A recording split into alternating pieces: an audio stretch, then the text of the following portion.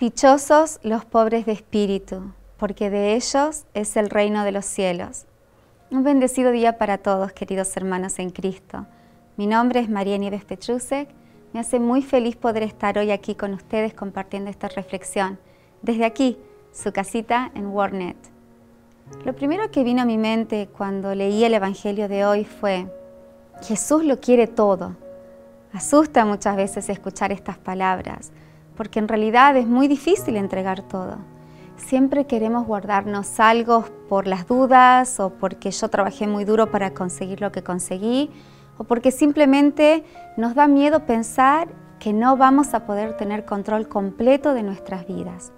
Pero de nuevo, Jesús lo quiere todo, no quiere las sobras, no quiere las migajas.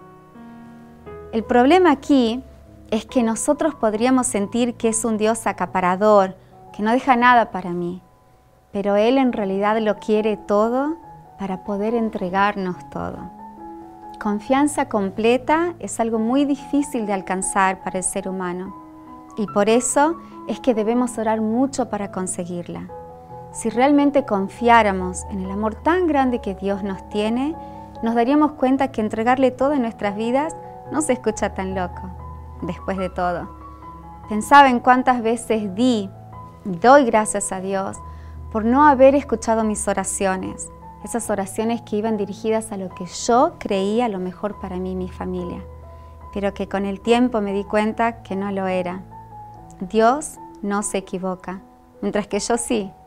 Entonces, ¿por qué no confiar ciegamente en este Dios que nos ama tanto, que se entregó completamente por nosotros? ¿Por qué no confiar en entregarle nuestras vidas desde el lugar donde nos encontremos, sabiendo que Él nos ama de una manera perfecta? Confiar ciegamente es difícil, pero la recompensa para aquellos que lo logren, para aquellos que sean capaces de vivir sus vidas confiando y entregando todo al Señor, es tan grande que claramente vale la pena intentarlo. Oremos. Mi boca, Señor, anunciará siempre tu salvación.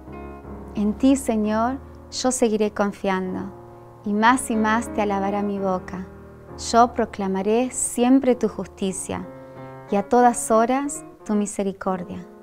Amén.